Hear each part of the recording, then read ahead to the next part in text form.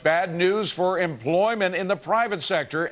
ADP reporting employers slashed 23,000 jobs in March, surprising economists who had actually predicted a gain. But the news may not be as bad when the Labor Department releases its employment report on Friday. Thanks to increases in government jobs, mostly census, of course, they had to be created and they may tip the scales. So, is it okay if private sector jobs are lost as long as government jobs are gained, or is it not kind of an even trade off? Jerry Mills, CEO of B2B CFO, says no.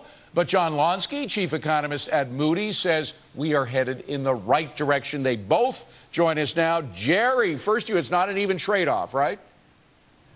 Oh, no, uh, that's almost like asking somebody to pay their MasterCard bill with their Visa credit card. Uh, government jobs, we're only talking about if at the maximum level of the government hiring about 3% of the un unemployed, underemployed, and the college graduates that are graduating next month. So that means 97% of the people that are that need employment are not going to get it. So it's a very small statistic.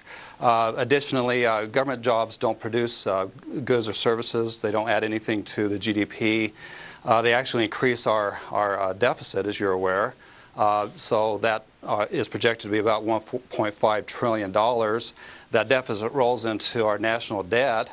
Then we start paying interest on that to China and other companies, which increases our deficit. So no, uh, very small impact, and it's not going to do anything uh, for the labor force at all. Uh, John Lonski, could there be a, a, currency of sorts, though, from those government census jobs that, that you might not be able to see, but you can feel if there's money in those pockets and there's a psychological effect? Could we start to see That's job precisely correct, because what this economy needs, than more than anything else, is increased spending. And if these uh, temporary census workers step up their spending, that's going to lead to the creation of more private sector jobs. There is a multiplier effect. And by the way, government spending constitutes an important component of GDP. And chances are that if we increase government spending, uh, we will lead uh, to an increase in employment elsewhere in the economy, of course, including the uh, private sector. All right. So, Jerry, you're all wrong.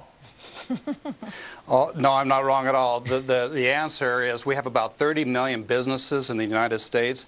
If uh, the administration could do something to encourage them, we could solve unemployment in a month or two. Uh, the issue is the administration is not. Uh, friendly to business and they're not encouraging them to hire people in the proper way. So we can solve this problem overnight, but it's not going to be answered by the government hiring temporary workers and, and for 3% of the population. Uh, not going to work at all. John Lonski, last word. Well, he's right. You know, that's not the solution. Anyways, we have had a bottoming of business investment spending, third quarter of 09. Ordinarily, that's associated with a bottoming of private sector employment that I think is being uh, formed right now, if it hasn't been formed already in February. Uh, looking ahead, with the growth of business sales expected to continue, I wouldn't be surprised if we begin to observe substantial private sector jobs growth uh, by this summer. That's 100,000 new private sector jobs jobs per month over a three month span. Well, you disappoint me, John Lonski, because I thought you were going to start screaming, and we were hoping that you'd actually reach up from where you are and try to bring Jerry down to your level and beat the heck out of him, but it didn't happen. Maybe next time, all right? Good to see you both. Thank you.